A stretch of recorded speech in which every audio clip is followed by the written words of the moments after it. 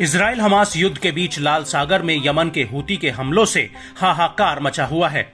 चाहे अमेरिका हो या फिर ब्रिटेन या फिर कोई दूसरा पश्चिमी देश, हूती ने लाल सागर में इसराइल की खुन्नस निकालने के लिए अभी तक किसी भी जहाज़ को बख्शा नहीं है। और यही वजह है कि दुनिया की टॉप शिपिंग कंपनियों ने लाल सागर से अपना कारोबार समेट लिया है। लेकिन अमेरिका और अन्य पश्चिमी देशों ने लाल सागर में अपने युद्धपोत, मालवाहक जहाजों की सुरक्षा के लिए भेजे हैं। लेकिन हूती ने इन पर हमले करके या तो इन्हें भारी नुकसान पहुँचाया है, या फिर उन्हें बीच समुन्दर में डुबो दिया। यहाँ तक कि हूती के कब्जे में अभी भी एक मालवाहक जहाज़ है। लेकिन इस सब के बीच 25 मई 2024 को हूती ने एक बार फिर से हिंद महासागर में एमएससी मशाला और अमेरिकी जहाज़ लारेगो पर हमला किया है। लाल सागर में लाइबेरियन झंडे वाले मिनरवा लीसा ऑयल टैंकर पर भी हूती ने हमला किया है। हूती का कहना है कि लीजा ऑयल टैंकर प्रतिबंधों के बावजूद इसराइल की तरफ़ जा रहा था। इसको लेकर हूती के प्रवक्ता याया सारी ने कहा कि हूती ने भूमध्य सागर में इजरायली जहाज़ पर कई बैलिस्टिक मिसाइलें दागी हैं। इसके अलावा लाल सागर में दो अमेरिकी डिस्ट्रॉयर पर ड्रोन हमले भी किए गए हैं। इन हमलों को लेकर हूती के प्रवक्ता ब्रिगेडियर जनरल याया सारी का बयान भी आ गया है।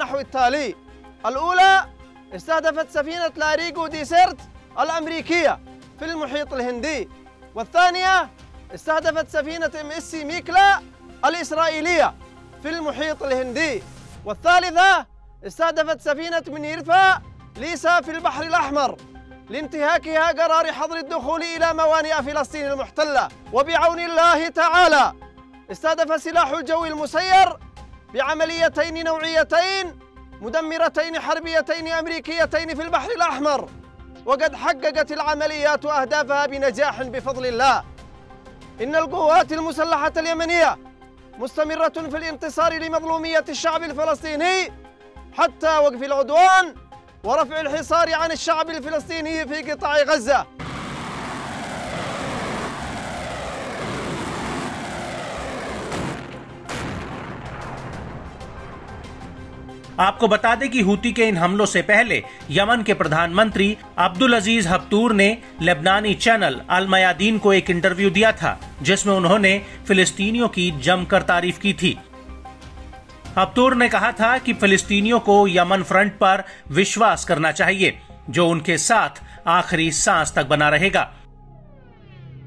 आपको बता दें कि इससे पहले 24 मई 2024 को हूती ने अमेरिका और ब्रिटेन की आक्रामकता के खिलाफ हमले किए थे। उस वक्त हूती ने अरब सागर में इजरायली जहाज़ एमएससी अलेक्जेंडर पर कई बैलिस्टिक मिसाइलें दागी थी, जबकि दूसरे हमले में हूती ने यानिस जहाज़ पर लाल सागर में हमला किया था। ये जहाज़ Greek company Eastern Mediterranean Maritime का था। हूती का कहना था कि ये जहाज़ कब्जे वाले फिलिस्तीन के बंदरगाह पर चार और पाँच मई को पहुँचा था, जिसकी वजह से इस पर हमला किया गया।